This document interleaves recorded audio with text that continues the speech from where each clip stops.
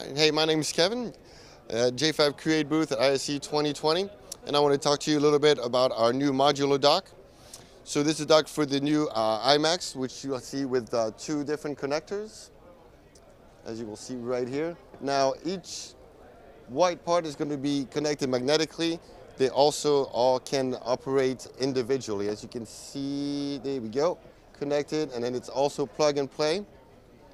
So you just plug it in right there. And as you can see, both of the screens are going to come up in just a second. Now, it being independent, you can also daisy chain them. So if I wanted to add this HDMI connection at the end of the dock, I could do that as well. And if you wanted to, let's say, put an SD card, we could use this other port over here to work independently to do so.